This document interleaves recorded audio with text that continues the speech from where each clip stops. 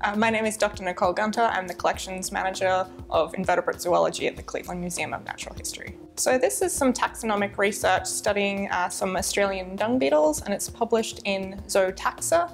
Uh, this is research that came about through an Australian government uh, funding round called Bush Blitz, which is a biodiversity survey um, of the undocumented species within Australia. So the first thing that we noted uh, was there were very many undescribed species in this um, this group.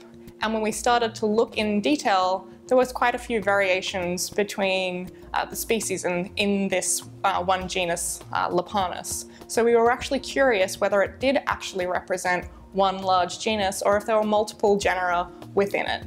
So we started doing an investigation that was primarily led through DNA and molecular techniques to see if we could identify the genetic groups uh, within this lineage of dung beetles. Once we knew how the dung beetles were related to each other, then we started to look further into the systematics and do the taxonomy for the groups we decided that we would group them into smaller species assemblages based on one particular characteristic. Um, so it's the shape and the grooves along the terminal segment of the abdomen. So once we had these species assemblages, it provided us a framework to look uh, at the genetic variation within. We soon realized that two of our species assemblages were definitely distinct, genetically distinct lineages from Lepanus, the the main genus that we were looking at, and that these differences were significant enough to establish them as two new genera.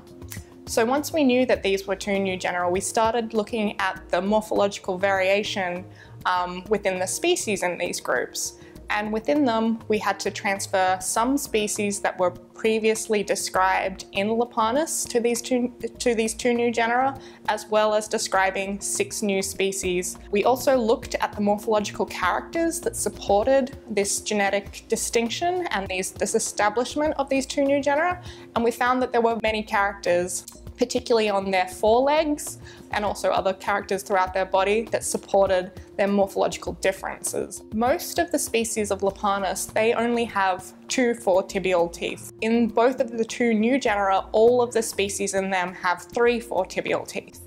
They also have some really unique characters, like there is a very small brush and comb of setae, the front inner side of the forelegs. They've also got different numbers of groups of hair on the top of the foretibial teeth, and some of them have these little pits on the forefemora as well.